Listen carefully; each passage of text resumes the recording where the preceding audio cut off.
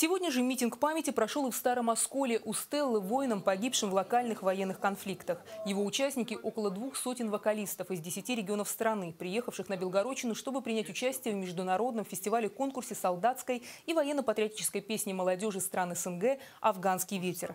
Вот уже 20 лет подряд традиционно он стартует именно с митинга памяти.